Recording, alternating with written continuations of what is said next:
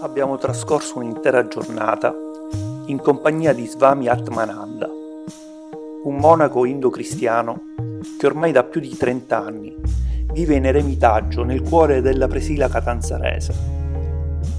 Ciò che ogni volta ci spinge fin quassù è la sua gioia infinita, manifesta in un sorriso sempre presente, la sua pienezza contagiosa, il senso di pace che trasuda da ogni filo d'erba.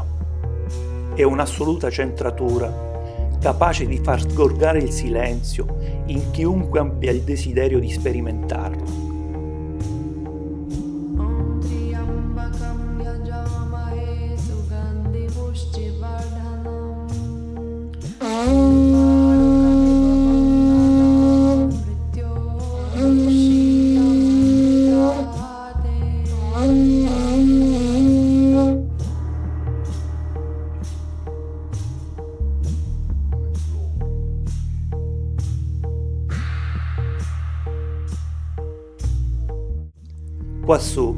Senza tv, cellulare, internet, senza luce né acqua corrente in casa, dove il gelo d'inverno morde tenacemente, isolando luoghi e persone, il corpo torna ai ritmi delle albe e dei tramonti.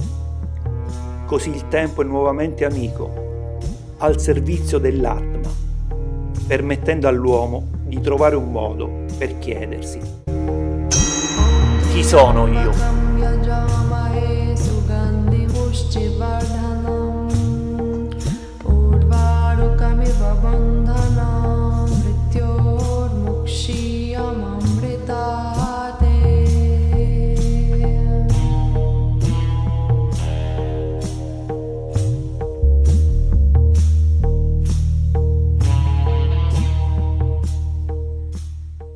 Bene, allora Svami, ci puoi raccontare che cos'è stato il tuo percorso nell'Advaita Vedanta, come è cominciato? E come hai incrociato questa conoscenza? Ecco, a Camaldoli c'erano i libri di Rafael nel monastero sotto. E quindi ho avuto letto qualche libro di Rafael quando ero monaco camaldolese, eremita camaldolese. E poi i libri di Pete Griffiths, che era diventato camaldolese, da monaco benedettino inglese era diventato camaldolese. E c'erano i libri suoi e i libri di Rafael. E lì è stato il mio primo contatto con l'Advaita libresco, diciamo così. Ecco. Poi man mano gli anni, l'approfondimento. Ho conosciuto Raval personalmente lì a Roma, alcune conferenze, e quindi l'Advaita ho compreso anche non solo i libri di, di, di Rafael, ma anche di Henri Lesso, Swami Abhicitananda, fondatore del Satchitananda Ashram. Quindi da Camaldoli mi sono spostato in India poi, no? sono andato a Satchitanandashara per, per conoscere direttamente un po' e ad Arunachala, da Ramana Maharishi. Quindi il mio primo approccio è stato a Camaldoli. Poi, però lì erano i libri che mi affascinavano. Invece lì a Arunachala era proprio questa presenza tanto che volevo lasciare il corpo lì, ma mi è venuto un acquazzone nella grotta, mi ha riempito la grotta d'acqua e non sono potuto entrare in Masamani a Runachala perché Ramana non voleva, diciamo così, ecco, mi ha riportato attraverso un grande monzone verso il villaggio, verso la villetta di Amza, mio amico che mi ospitava sotto la E lì ho conosciuto vari sadhu,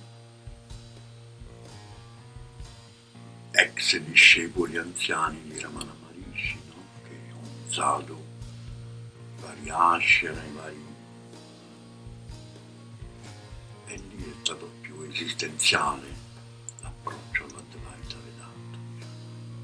Quindi la tua iniziazione come monaco indo-cristiano è avvenuta in India. In India, a sud dell'India, no, a Runachala, vicino 120 km dal, nel fiume Kaveri. vivendo dentro un ashram.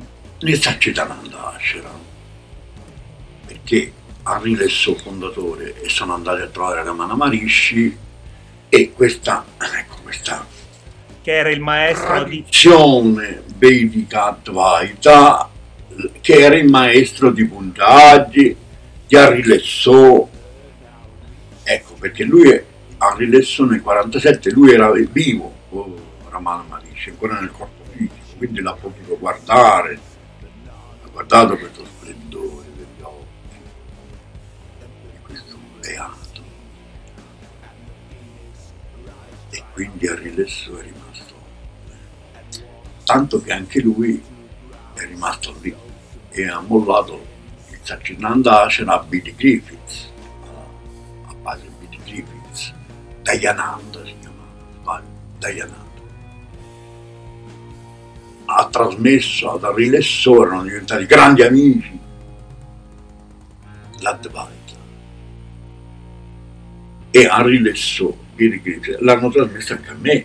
Eh, a Khan Allah a Khan che è quello che conta è a Khan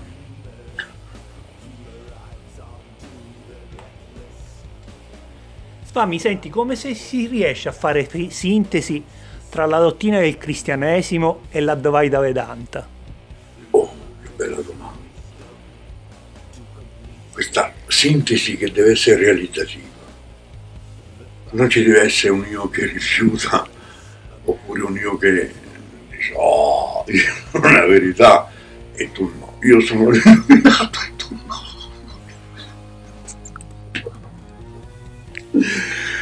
No, non, non- non- non esiste questo. Quindi la sintesi accade quando l'anima un po', diciamo, un po' progredita, un'anima un po' elevata, no?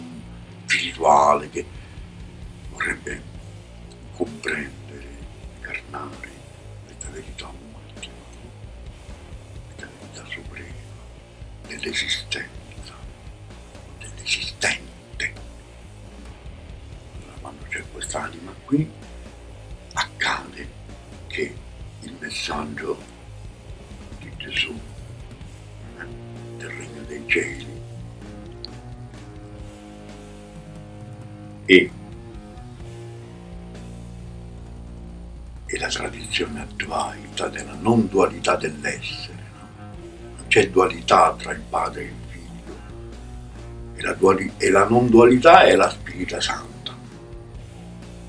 che è sempre al femminile, che è la Shakti divina che manifesta l'essere. no? Quindi questa trinità dell'essere, coscienza e beatitudine, si sintetizzano. Questo Padre, Figlio e Spirito Santo, come dicono i cristiani, si sintetizza in questo Sat, l'essere, Chit, coscienza dell'essere, e Ananda, beatitudine. E quindi non c'è più dualità. Ecco, in questa realtà suprema, in questa identità suprema che uno che si risveglia da sé in sé, Sfami, noi sappiamo che nella tradizione cristiana pietra fondamentale è la preghiera, mentre nella tradizione indù, induista, pietra fondamentale è la meditazione. Quindi, come possiamo capire la differenza tra preghiera, tra pregare e meditare? C'è una differenza e quale?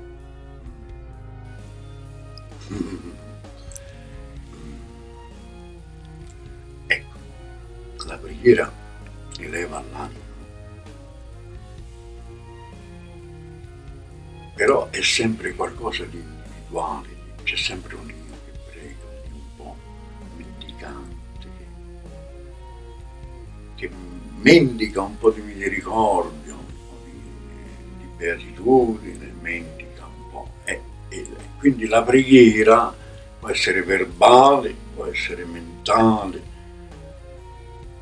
e però eh, ecco, la preghiera mh, a un certo punto mh, non sussiste più, perché la divinità si fa presenza.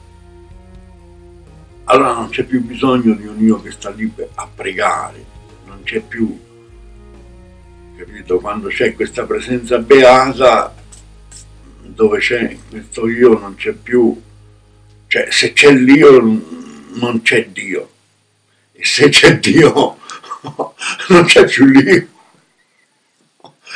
E quindi questa cosa comincia a fiorire nella beatitudine, nella gioia.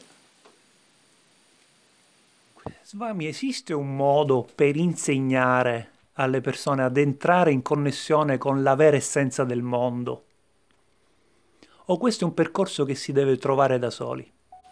Si trova da soli, mm, non c'è, non c'è possibilità. E se te veramente vuoi scoprire chi sei, ti vuoi risvegliare, allora il maestro ti può portare sulla soglia, dice che ti dà qualche strumento tecnico, ma è molto relativa la cosa. Perché mh, in questa realtà non c'è né maestro né discepolo, né nascita né morte, né schiavi, nessuno è schiavo e nessuno è libero. Cioè non c'è più questa dualità, né creazione né distruzione della creazione, la morte. Allora è da soli che si, perché è il solo con il sole, direbbe con il solo, no? direbbe Plotino, solo con il sole. Allora lì non c'è più, non, non- la comunità, ecco, diciamo, tutto il contesto civile, religioso, sociale in cui questa individualità è nata, no? Lì eh, eh, si decade, diciamo, non c'è più. E allora mh, questo va bene, ecco il rito anche, va bene fino a un certo punto. Poi ci deve essere una resa, un surrender, diceva il surrender, un surrender. Necessario questa resa del Jiva Atman, cioè l'anima individuale, che si arrenda al Para-Atma, che è l'anima suprema, no? Para, suprema anima di tutte le anime, che guida Dio. Quindi ci vuole questa resa. E allora ecco che c'è una preghiera di- del Visconte Chattemokur,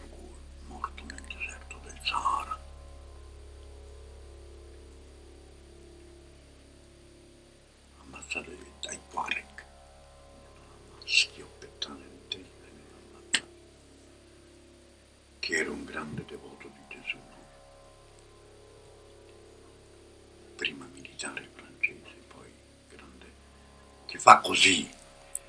Padre mio, io mi abbandono a te. Fa di me ciò che ti piace, qualunque cosa tu faccia di me ti ringrazio.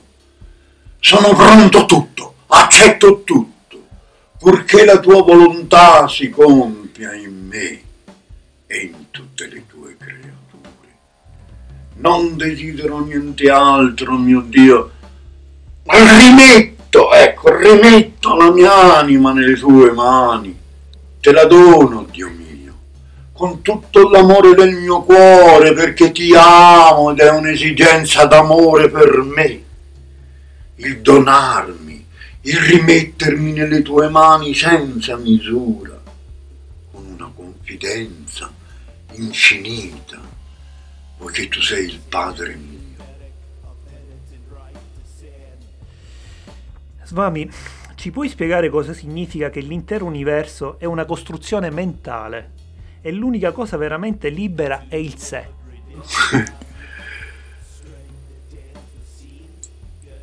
Ci puoi spiegare? E ma qui non c'è spiegazione che tenga.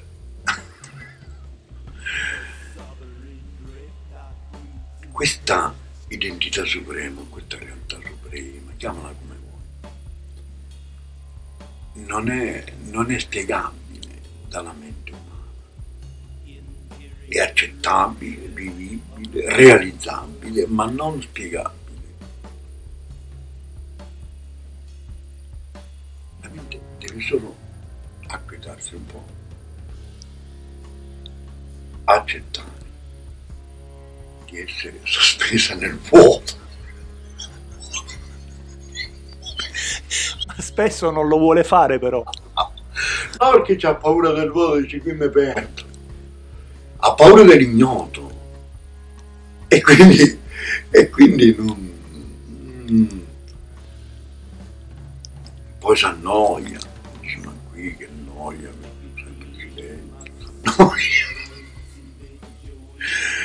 Ma invece, invece, è proprio lì, nel vuoto, Sunia, che appare oppure che emerge o che brilla o che qualcosa che non è ecco, spiegabile e che bisogna accettarla così com'è e come è sempre stata e come è e come sempre sarà ma è, è qui è lì che tenunche no? Qui è, è qui e poi c'è il potere dell'adesso di Eckhart Tolle Eckhart Tolle, sì. il potere dell'adesso che nessuno prende in considerazione che è il potere senza forma del silenzio l'ottuplice potere senza forma del silenzio in cui i pensieri e le parole vengono meno e sono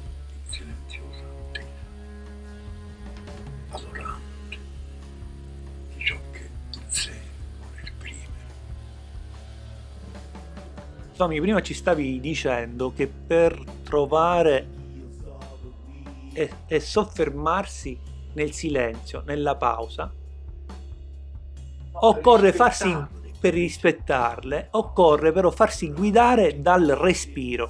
Ci puoi spiegare come? Il respiro può essere una guida per raggiungere il silenzio? respiro oh, dice, lo dico- non lo dico io, lo dice il Buddha. Buddha dice che il respiro è il ponte fra la persona umana e Dio. Non Dio, insomma, mm, è l'atma, il paratma, il ponte tra il corpo e lo spirito, diciamo così. Ecco, teniamo un linguaggio occidentale qui. Tra e c'è il respiro. Quindi, ecco, quando uno ispira si sintonizza o attualizza o questa identità suprema.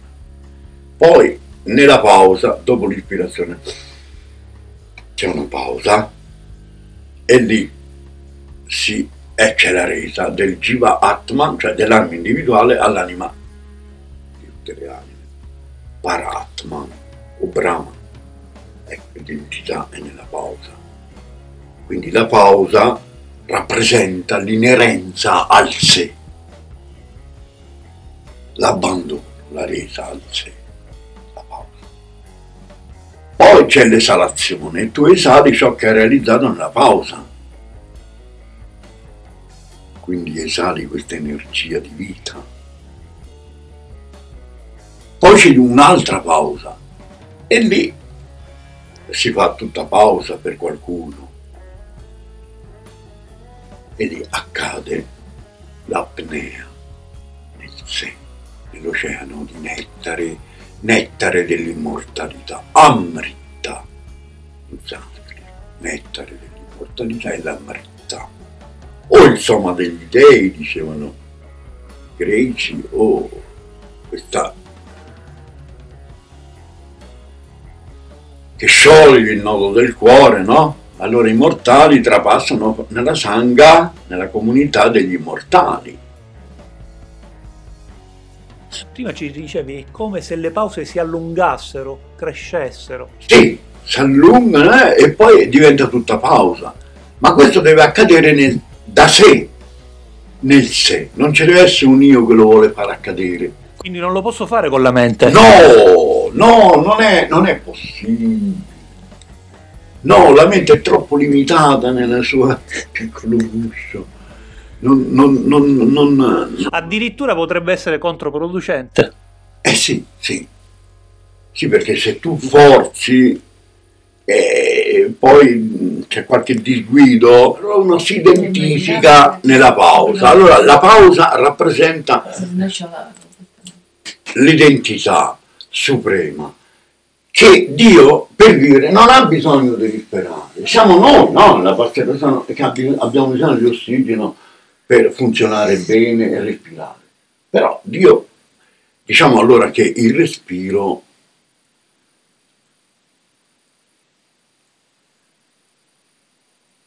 è ponte e che si acquieta quando ritrova la propria sorgente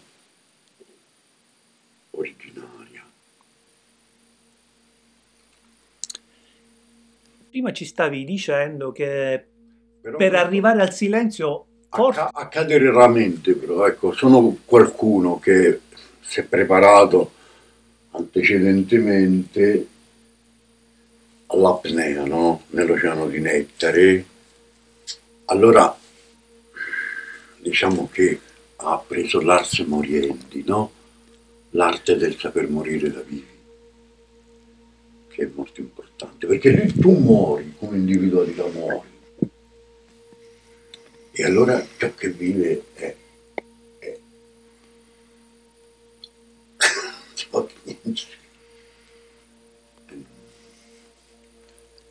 Prego. prima ci stavi dicendo che potrebbe alle volte può rivelarsi utile l'uso di una pianta di potere che in qualche maniera dà una spintarella Al punto d'unione... Eh, e, e spiegaci bene questa cosa. Ah, no, prima c'è una, come una vibrazione nelle guaglie, no? Questi corpi sottili intorno a noi, eh? noi siamo esseri come o- uno o- ovoidale, no? Allora, a questo punto d'unione in genere è alla superficie del bozzolo luminoso, no? Ecco, allora, questa piante o questa... No, eh, dipende, dip- quale pianta, perché ogni pianta ha un- delle qualità mh, specifiche, quindi ecco, la cannabis dà una spinta, poi i funghetti, quelli è un'altra, è un altro tipo di... Però ecco, a Roma il regista Migliacci non mi ha fatto parlare della cannabis. Si ammetta, la giornalista, non, dice no, è un orario in cui non si può parlare, è l'una, ci sono tutte le massaglie, vogliamo parlare della droga. Eh, ma dico, ma io sono venuto anche per, sì, per salutare mia sorella in punto di morte, però dico, sono venuto a parlare anche di questa, eh, dice no, e vabbè, come volete voi. Le piante entogene, le piante con il divino dentro. Sì, no, questa qualità che ha la possibilità sui piani sottili di spostare questo punto d'unione verso il sé.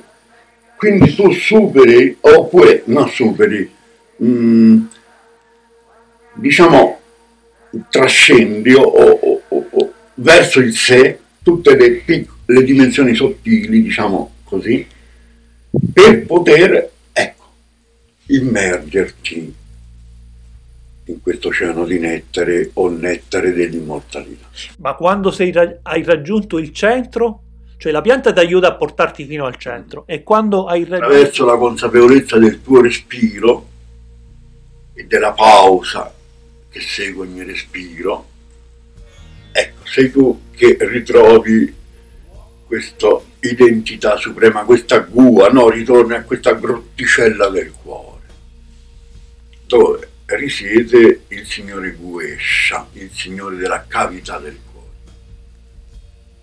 che è Dio stesso,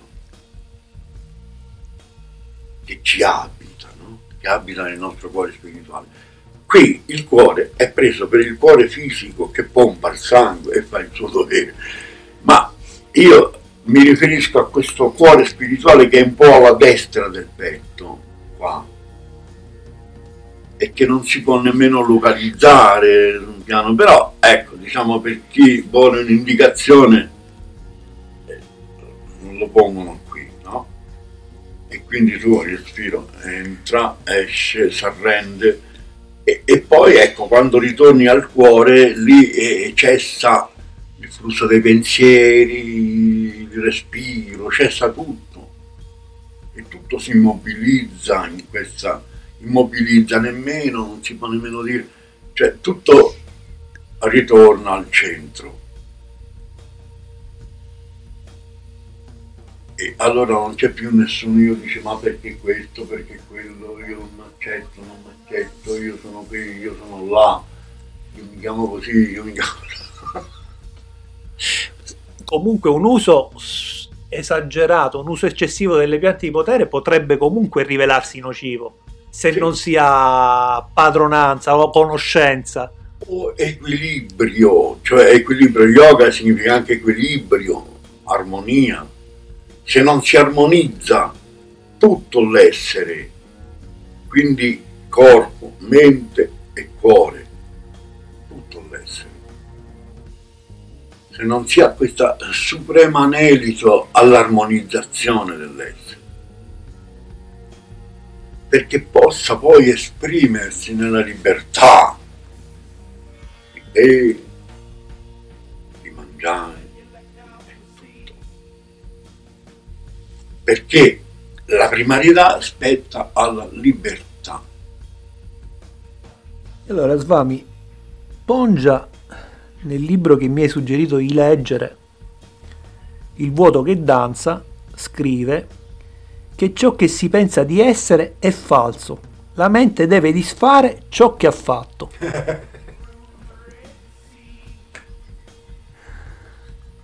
Facci capire bene questo passaggio. Qualsiasi creazione della mente è falsa. Eh sì, Quindi la realtà che io ho sotto gli occhi che cos'è? è tutto il prodotto della mente. E niente di questo è vero. E niente di questo è assoluto, è, è tutto in divenire. Allora, ecco, chi è assoluto è l'essere. E, e chi sono io? E chi sei tu, Signore? Diceva San Francesco d'Assisi. Sì, Chi sono io? Chi sei tu, Signore? Ma questo perché è impermanente? Per- Eh, perché, ecco, perché la mente tende ad assolutizzare ciò che non è assoluto e ci si identifica. Con il veggente. Sì, ciò che non è assoluto. Cioè la mente si identifica continuamente con il divenire, con il perituro. Così facendo si intrappola, si incatena, si, si- e allora non può sperimentare questa liberazione, questo risveglio all'essere perché non ha accesso a quella realtà lì. La mente è solo uno strumento tecnico per poter vivere bene sui piani visibili, sul piano materiale, per misurare una certa misura. cioè, e, e questa serve. E, e ma è la domestica, dice Puntaccia, no, la mia domestica. E non c'è inimicizia tra me e la mia mente. Quindi bisogna accettare così come siamo, accettarci e accettare quello che siamo per poi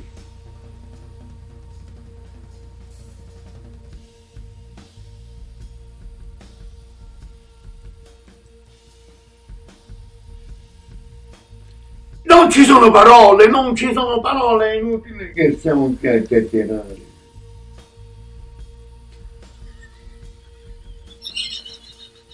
Ecco, eh? Come la domestica che d'altronde si presta per E servire. la casa senza una domestica non funziona bene, Eh, dice Pungianti in una paginetta, è una paginetta quella lì. Sì, ce l'ho, c'ho l'io. Eh, ma l'io è come una domestica, senza la casa non funziona.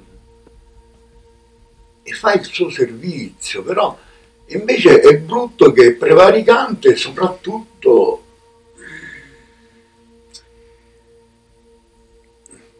soprattutto quando prevaricante tipi quello come si chiama quello là americano come si chiama Trump.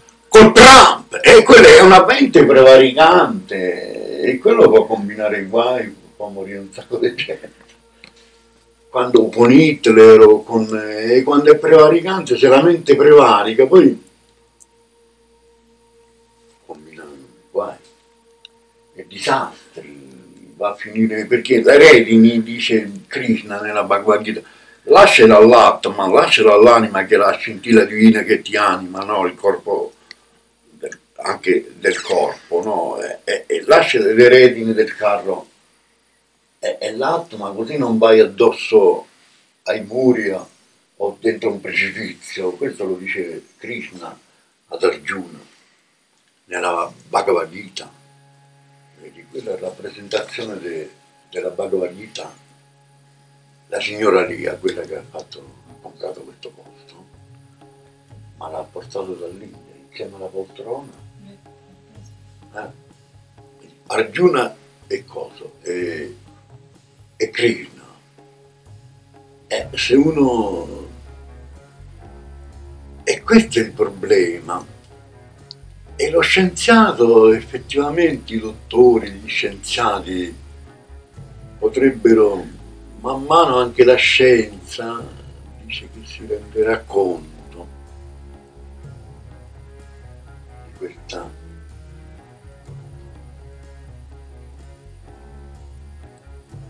piano piano che si spiritualizzano anche alcuni scienziati.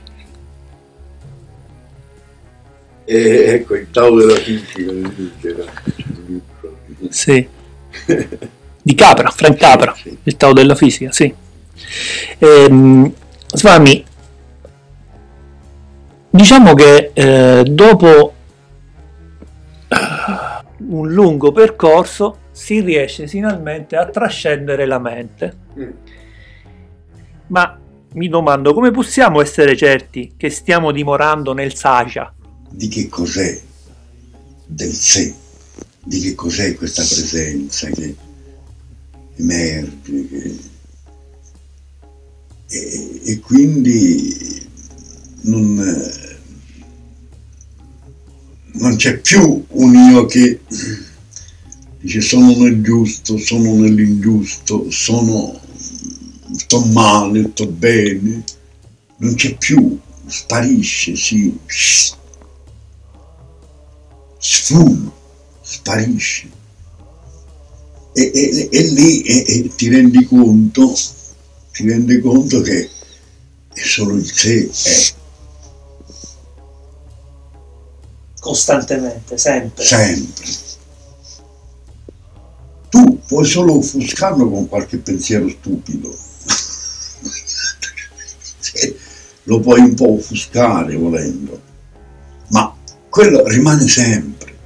Non è suscettibile di perdita ed è tuo per inalienabile diritto. Eh, Io sono quello in realtà. Tattvam Asi. Prajnanam Brahman. Prajna è la coscienza. Questa coscienza è Brahman. Ayam Atman Brahma. Questo Atma, cioè questo anima, è il Brahma. Ayam Sarvidam Kalvidam Brahman. Tutto quanto è Brahma. Aham Brahmasmi, io sono Quindi le quattro sentenze o cinque del Vedanta tu le realizzi in pienezza. Quindi ecco, l'identità Jivatma, Paratma o Atma Brahma si realizza, ti consapevolizzi e allora non c'è più problema, non c'è più nessun problema. No problem.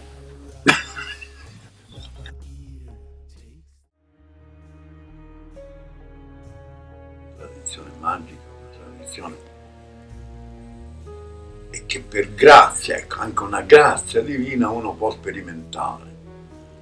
Però, ecco, è solo l'amore della conoscenza che ti induce a prenderli, però con altri fratelli più anziani che hanno già fatto esperienza, che, che tu senti che c'è un contesto di amicalità, di fraternità vera, no? Allora è bello fare, perché, perché loro ti fanno comprendere tutta la leggerezza, l'illusorietà della materia. Quando leggiamo i libri di Carlos Castaneda, eh, spesso il suo maestro Don Juan eh, lo induceva, lo spingeva a fare esperienza sui mondi sottili. Questi mondi sottili sono reali o sono immaginari? Sono utili o sono inutili? Sono utili per la consapevolezza del corpo, delle capacità del corpo anche. Se prendi la datura, mettiamo, no? La datura. Lo strammonio d'attura, sì. Eh, e a me mi aveva paralizzato il corpo. Allora, no, prima a Goa è entrato un giapponese che faceva parte della comunità di Osho. Ha fatto dei semini di datura e si era tutto sbranato qui perché la percezione corporea, per sentirsi ancora vivo, si era strusciato nei massi del mare e, e si era graffiato tutto qui, è entrato nella mia stanza con Gianni Solini, che è quello là, vedi? Nella stanza nostra è tutto pieno di sangue qua. E che, e che hai fatto? Un bel ragazzo giovane, giapponese. Dice "Eh, datura inoxia. E dico, ma, oh, ma allora questa pianta, dico, ha delle grandi potenzialità. Vediamo che cos'è. E ho voluto sperimentarla. Mi ha paralizzato. Ho sentito proprio la morte. Poi gli ho detto, ma chi sei? E dice, ma a me mi prendono senza... Dice, queste sono le mie qualità, le mie... i miei... Dice, molti sono inconsapevoli. E allora non è che... Perché hai fatto del male? Cioè, molte persone lì a Goa c'erano le tombe. Sono morti, ci sono morti alcuni. Oltre che fuori di testa, qualcuno è anche morto. Quindi però uno che ecco, pratica lo yoga, la scienza dello yoga, che conosce, non c'è datura che tenga. Sì, il corpo fisico rimarrà momentaneamente un po' paralizzato, un po', però non,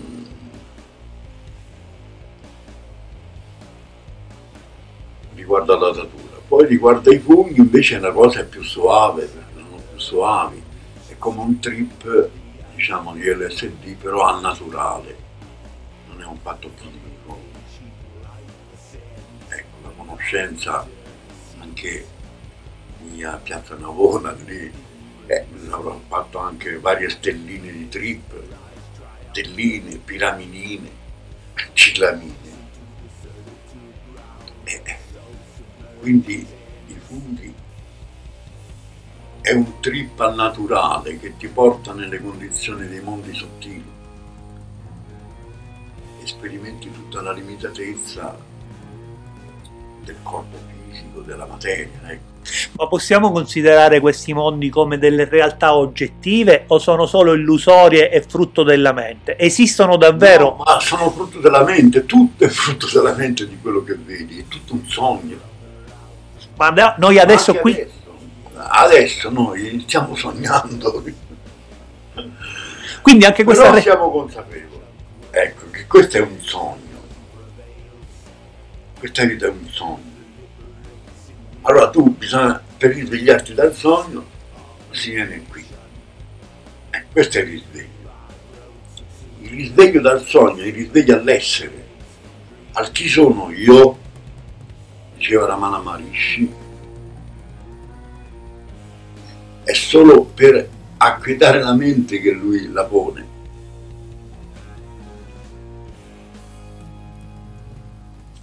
Perché non c'è una risposta razionale.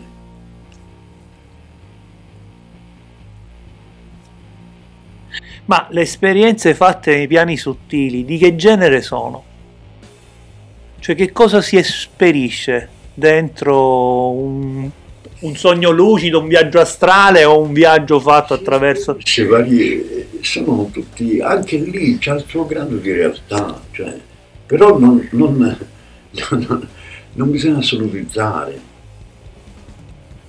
Cioè, quello- il, il problema è che la mente assolutizza, allora si crede un santo, un messia, un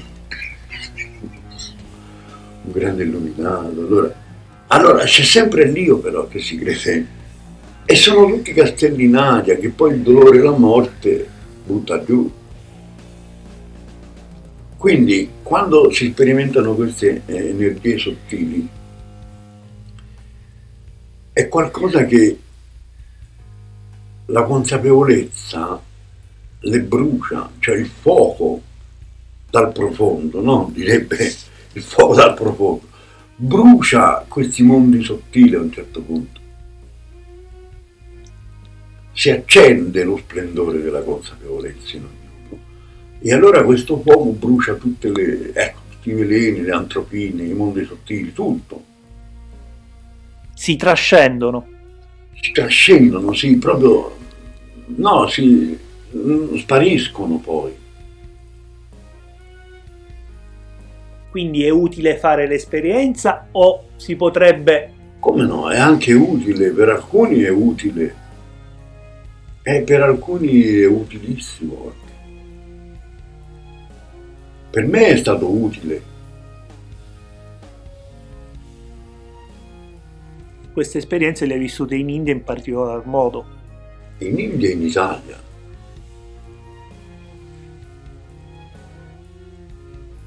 Capito? Vicino Roma, te l'ho raccontato questo fatto. Sì, raccontalo un'altra volta. Questo fatto qui, che io ero in meditazione, che il ristorante sotto il Vaticano lavoravo come da vagante, dice poco e pizzettaro. E venerdì chiudeva e andavo a Isola Farnese sotto la cascata, mi facevo, ero tutto nudo. Però meditavo anche il Viveka Ciudamani di Shankaracharya e tutto il giorno mi mettevo lì e poi è arrivato questo poliziotto cacciatore che mi sparava vicino, poi mi hanno portato al manicomio. Mi hanno portato in manicomio e dice ma sei tutto nudo? Dico sì, perché per passare dall'irreale al reale, dalla tenebra dell'ignoranza alla luce della conoscenza e dalla morte all'immortalità bisogna essere tutti. Bisogna spogliarsi anche dei vestiti mentali, mi facevo. Eh, ma non ci si può stare tutti nudi così. Ma qui mica so a Piazza Navona. Sei in piena campagna. Eh, ma dove ci sono i vestiti? Dove... Tutte, tutte domande, poi con sto fucile. Pam! È immobile, immerso. Però quando lui è venuto là col fucile, no? Dico, ma me vuoi sparare? Vuoi fare un combattimento? Oh, oh. È uscito fuori di testa, ha telefonato ai suoi colleghi e ha mandato giù tre poliziotti. Due in divisa e uno in borghese di Prima Valle lì. Dice, ma ti portiamo a Regina Cieli? Sì, dico, andiamo alla Regina del Cielo, mi accoglierà tra le sue braccia amorose.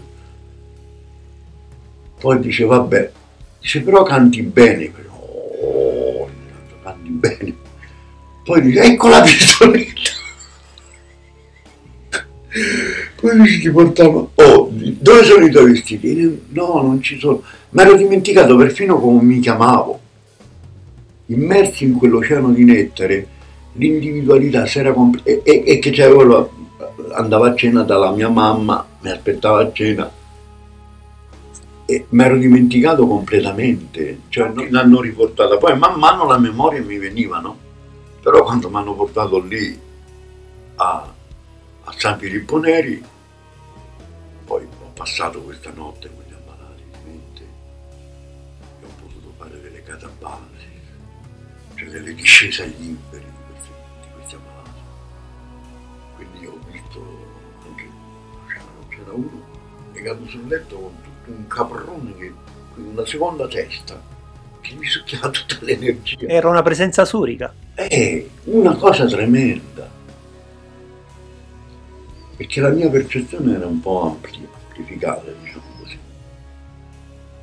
E allora ho potuto constatare, e quell'altra, quell'altra con la mammella tu mi fa, tu mi fatta qui, dice tu sei indiano, guarda che mi ha fatto un indiano. Ha tirato fuori una mammella così, tutta, tutta viola, perché si pizzicava lei stessa per soffrire un po' e quindi era tutta come fatta. E mi faceva, tu sei indiano, io lo so che tu sei indiano.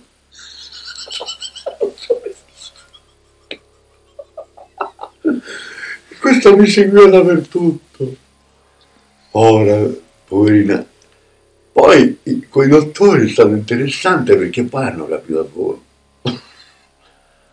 Ci prendi questi medicinali, hanno tutte partite. Ma cari dottori, questi li potete dare ai vostri pazienti. Io sono qui perché questi cari ragazzi con la pistoletta ma non portare qui. Ma, mm, quindi dico, non, non c'ho bisogno di queste pillolette.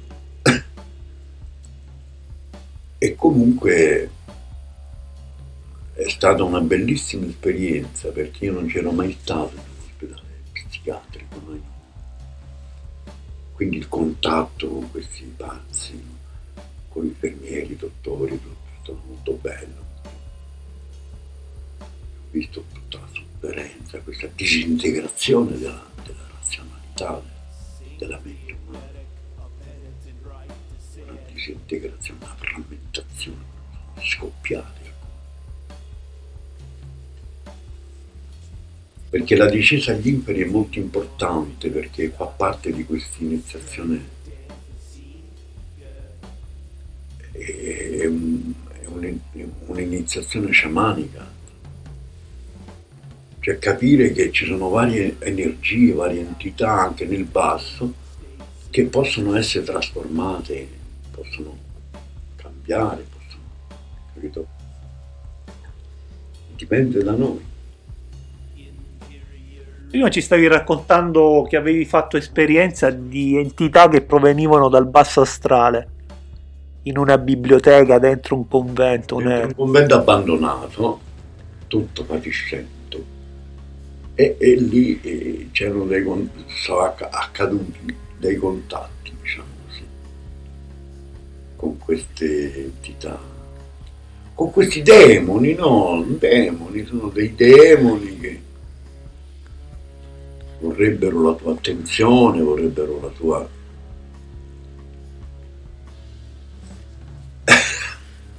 prenderti, succhiarti un po' di energia, ecco, in definitivo. E quindi possiamo dire che sono, questi demoni sono l'equivalente di quello che Carlos Castaneda chiama voladores. I voladores di Castaneda e gli- le entità suriche del- della Bhagavad Gita, sì.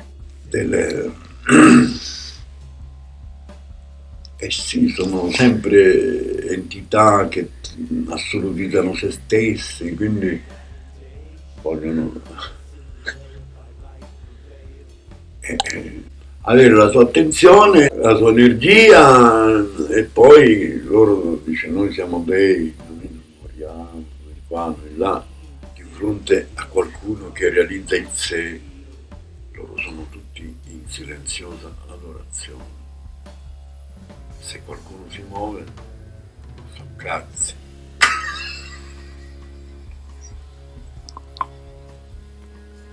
Senti, una volta invece ci hai raccontato che una delle tue esperienze nell'astrale hai avuto modo di incontrare degli esseri di altri piane- pianeti, degli alieni extraterrestri, ti avevano portato su un altro pianeta.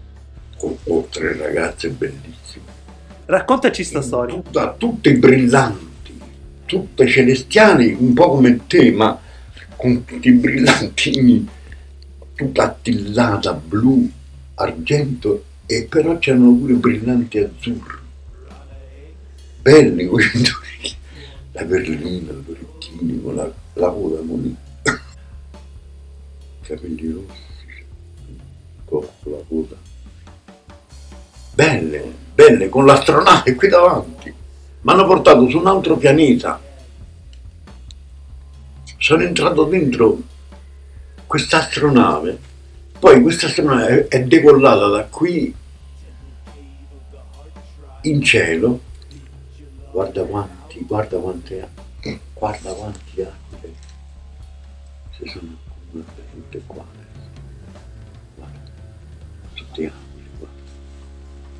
Che giro, 7, 8, 10, 20. No, falchi sono. Pecchiaioli, pecchiaioli, falchi pecchiaioli. Sono venuti a prenderti in astronave, ti hanno portato... No, prima ho sentito il letto che faceva così. Eh? E tutto vibrava. E, e dico, ma qui che succede? Poi sono entrati nella mia stanza, hanno aperto la porta. Sono entrate tre ragazze, erano tutte ragazze bellissime, con queste tutte attillate, tutte con le forme quindi in perfetta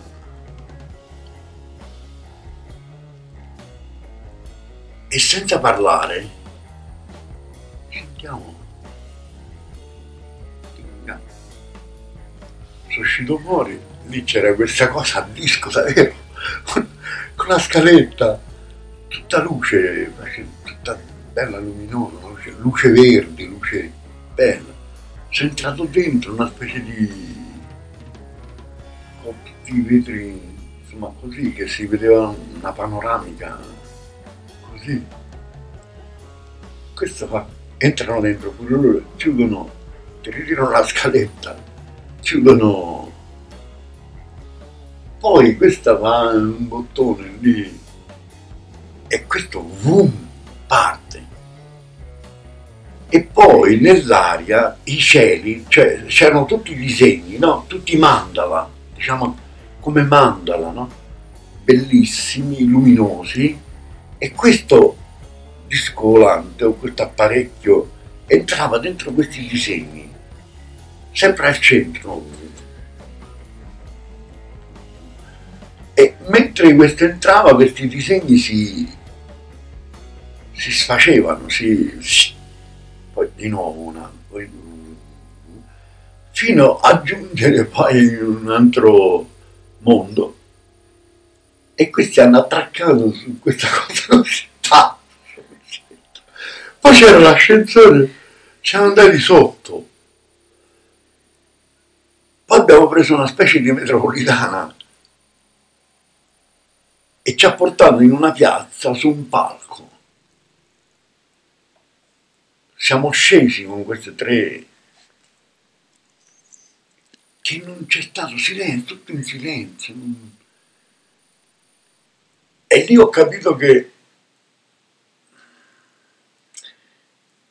perché lì sul palco c'erano vari personaggi, tutti, e tutta una piazza piena di persone, decine, migliaia di persone, tutte belle, tutti. E quando sono entra- ent- entrato su questo palco, tutte a battere le mani, a fare un applauso, e tutti quello, anche così, tutti salutavano con le mani perché speravano che, che io fossi chissà chi, un messia, e, e però ma non è così. Io non sono il, il messia che state aspettando. Signor Povariello, non sono il messia che state, sono il signor Povariello. E questi comunque molto rispettosi, molto adoranti. Ecco. Un... ma una piazza enorme, tutti edifici bombati, arrotondati, tutti edifici arrotondati, belli, luminosi, con bellissimo posto. Ma secondo la tua esperienza questo era un mondo reale? Da un'altra parte? Sì, da un'altra parte. Per giungere lì abbiamo dovuto centrare tutti i disegni uno più bello dell'altro, con un'energia, questi disegni erano fatti di una energia brillante, brillavano tutti. E quindi sono energie molto elevate. Queste erano tutte anime belle, cioè lì non c'era il male, lì non c'è il male, non c'è la putrefazione. Sono perfetti così come erano. Però aspettavano qualcuno, un messia, uno che incarni. Non sono un messia, gliel'ho avete scelto la persona sbagliata. Quindi riportatemi lì all'eremo dell'armonia. Oh, mi hanno riportato qua. Poi, no, poi mi, sono, mi ritrovato nel corpo, anche lì. Come il monastero, quello lì, e come il, il pianeta dei carabinieri. Ho avuto un risucchio. Dico, ma chi è che? Oh, quella ha nominato Hitler, no? Avuto un risucchio e mi sono svegliato nel letto, anche con Don Giorgio, no? quando mi è apparso quel papa polacco che dice dallo perché Don Giorgio dicendomi che uno mi fa perdere tempo, allora mi è apparso il papa polacco, schermo nero, punto luce, poi da questo punto di luce boom, viene fuori questo papa tutto vestito di bianco, fa così col polso, no? Si toglie il cinturino, un Rolex di milioni di dollari e me lo dà a me. Dallo a Don Giorgio Rigoni, parroco di Petronacqua. Lo roba, no d'oro, qui brillanti, qui è. Dico, grazie. Vado da Don Giorgio, sempre con l'atteggiamento fuori dal tabacchino, sempre così. Dico, guarda, mi è apparso Giovanni Paolo, il Papa, tu qui, il Papa, ti dà questo orologio per te, mi ha detto di darlo a te, questo orologio tutto brillante. E Don Giorgio niente, non mi guardava niente, rimaneva sempre così. Ma è per te, è per te. Mi stavo arrabbiando, in astrale non ci si arrabbia. Se uno si arrabbia è risucchiato subito sul corpo. Quindi ho avuto, dico è per te, è per te, è la terza volta che ho detto che è per te. Ho avuto questo risucchio e mi sono trovato nel letto, mi sono svegliato. E così con il pianeta dei carabinieri morti in servizio. Quello te l'ho raccontato Anche sì. Raccontalo. che quello lì, quando sono entrato lì nel, col coso lì sul tutti i carabinieri, eh, bravo, bene. No, che gli ho dovuto dire, eh, ma dico, ma voi, ma battete le mani, ma dico, ma voi che appartenete all'arma, benemerita arma dei carabinieri che avete ricevuto in eredità le virtù militari e guerriere dell'impero romano, qui siete in una villa romana. Ecco perché siete qui, in questa villa romana, in questo mondo bello, c'era il mare, le terrazze, c'erano delle ragazze bellissime. Che mi sono messo a correre dietro la ragazza, quella è entrata dentro la villa romana e c'erano questi carabinieri. Eh, incredibile, cose incredibili di notte succedono dei viaggi. E quello ha detto quell'anziano, quei baffi, dice, ma noi non siamo venuti a perseguitarti, noi siamo venuti lassù solo per conoscerti. E la conoscenza, insomma. Poi dice, un vero persecutore è Hitler. Quello perseguitava, quello è il persecutore quando ha detto Hitler ho avuto come un risucchio, no?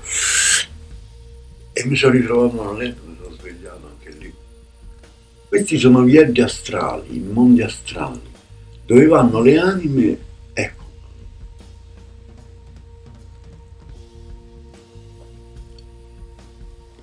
Buoni, cioè non, non cattivi, non, non eh, anime buone in definitiva, però non tanto consapevoli, ecco perché medio alto astrale. Rischiano di rimanere impantanate in questi mondi. Eh sì, perché lì non c'è il male, non c'è la sofferenza, tu ti puoi addirittura creare i cibi che vuoi, i gioielli che vuoi. E si sta bene in genere, allora lì uno ci rimane fino a che poi non si consapevolizza, allora poi chiede il permesso di rincarnarsi, allora ogni pianeta stare ha i suoi paraitri, cioè, cioè i suoi responsabili, come dire. C'è delle anime un po' più evolute che danno dei consigli se rincarnarsi, se hai bisogno di passare ecco, dalla strada del causale ancora più elevato oppure ecco dal basso di nuovo sul tuo pianeta Terra per poi andare verso l'alto astrale. Eh, ma c'è tanti mondi, tante... e uno non la finisce più se vuole, non... sei sempre in viaggio. Ma non è questo lo scopo. Ecco, questa è la questione, ecco, anche di Don Juan riguardo perché questi poteri possono anche interrompere la sadhana realizzativa, possono interrompere il cammino di realizzazione, perché tu ti attacchi, ti credi di essere un grande messia, un grande santo, io illuminato su niente. Quello è, è, deleterio questa cosa qua. Ecco perché Giovanni Vannucci, vedi, quel libro della preghiera universale, suo libro, ecco qui, di Giovanni Mannucci, mi ha chiamato i miei poteri guaritori, dice ma, ma piantala, questo è angelismo da strada, mi ha detto, smettila di andare a guarire le persone, perché il, il, suo, il loro dolore gli va bene. E tu se glielo togli quello non cresce eh, e mi ha sconsigliato, mi prendeva sempre in giro e eh, mi può giungere al soffitto. Sì. È uno dei miei maestri per me. E mi ha, come si dice, demitizzato. E però io ho accettato la lezione. E ho smesso di, di stare lì a guarire o non ho più accettato di... anche se l'energia nelle mani era talmente forte che andavo sugli alberi ma mi usciva all'albero scaricando sugli alberi. Mi ricordo. È durato una fase è stata però ecco c'è voluto un maestro per dirmi che questi siddha sono solo siddha e che se tu veramente vuoi comprendere, cioè prendere con te comprendere è prendere con te l'essere, no? sapere chi sei davvero, non con la maglia, con proiezioni illusorie, ma il reale, l'identità suprema. Devi smetterla, oppure lo puoi utilizzare a motivo di carità o di segno come Gesù, cioè dai un segno, però mh, i maestri non, anche Patanjali, tutti quanti è meglio di solo Don Juan e Don Gennaro pure. E anche Giulia tutti gli, gli stregoni della tradizione solca erano molto più ecco ai poteri si tenevano. E ognuno si teneva il suo oppure lo rubava a quell'altro. Sì, anche perché là si possono aprire lotte spietate. eh eh tra i stregoni eh. Eh, Sì, a volte si può, può succedere. eh eh. Oltre ci stavi raccontando della... che il silenzio, l'entrare in muna, può favorire l'esperienza dei viaggi astrali. e emergere, fa emergere anche tanti contenuti, anche subconsci, no? Che cominciano a emergere e allora ti consapevolizzi un po' sono contenuti pesanti oppure di sofferenza. E il silenzio può... mm. Dobbiamo considerare il silenzio più potente della parola. Eh sì, il potere senza forma del silenzio, senza forma, è pervasivo le forme, ma è senza forma, senza...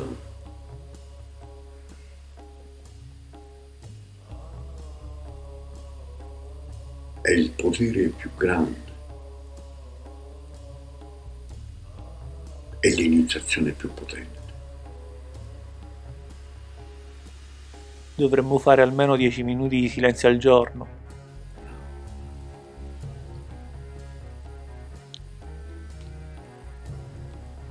trovare un momento in cui tu ecco, fermi il mondo, fermi il mondo.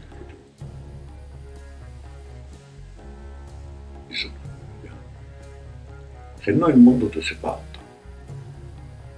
pattano tutta l'energia. Tu guarda l'ospedale, tu non ci sei stato, ecco, lì si, si pattano tutta l'energia. Il mondo ti si patta e tu non lo puoi permettere perché l'incarnazione su questo pianeta è una grazia incredibile, è una bella grazia che non la puoi sprecare così, è una chance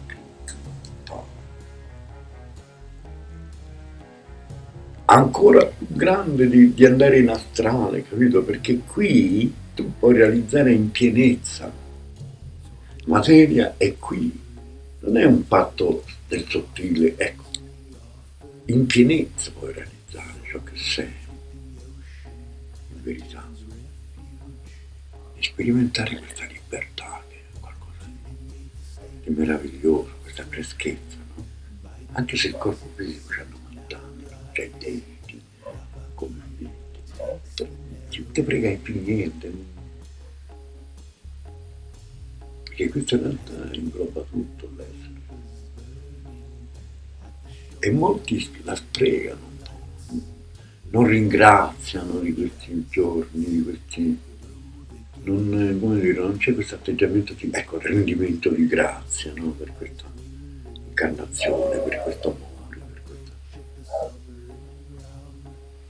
Cioè, danno tutto per scontato. no?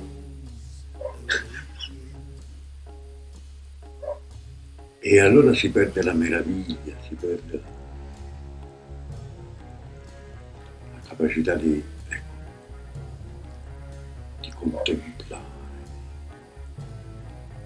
contemplazione mistica dell'identità.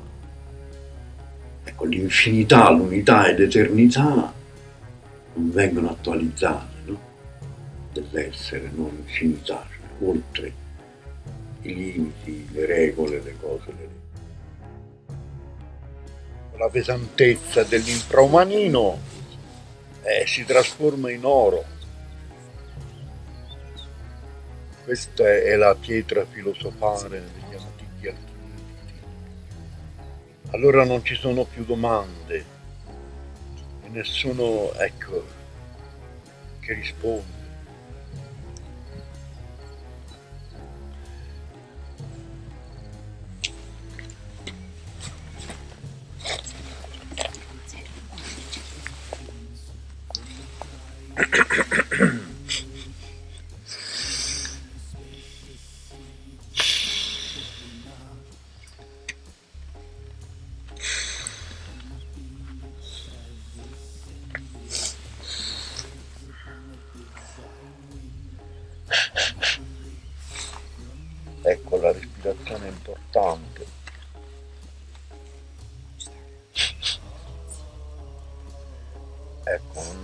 Narice rappresenta il sole e poi l'altra narice a sinistra eh, rappresenta la luna.